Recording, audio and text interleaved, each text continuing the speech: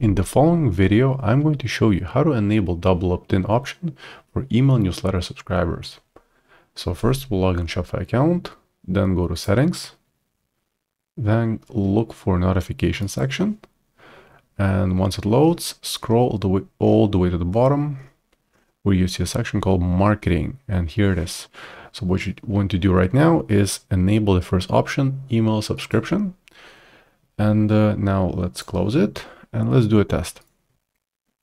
So imagine I want to subscribe to my own newsletter with my own email address for example purposes. So here's my email, subscribe, and submit. Okay, so we just uh, subscribed. Now let, let's go to the admin panel. Let's click on customers. As you can see, uh, this is my account. Uh, there is no email subscription yet because I should receive an email to my email address where I have to confirm it. And here it is. So thank you for subscribing to our mailing list. And now let's go back to customer section. As you can see, my status has been updated after I confirmed it through email. So uh, I hope you found this short tip useful. And for more Shopify tutorials, please ensure to subscribe my channel. Thank you.